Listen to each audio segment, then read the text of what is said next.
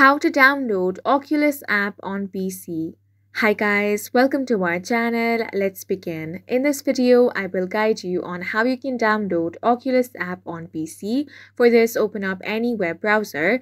Now, on the URL bar, you want to search for oculus.com slash setup. Now on this page, you want to scroll down, then find the option of Oculus over here. Once you have found this Oculus Rift, you want to click on the download MetaQuest link option. Now the downloading will begin. After it has been downloaded, open up this setup program. Now you want to install the Oculus app on your device. Once it has been installed, click on the get started option. Now click on the agree option for terms and conditions. Then you will have to follow the on-screen instructions to create an Oculus account.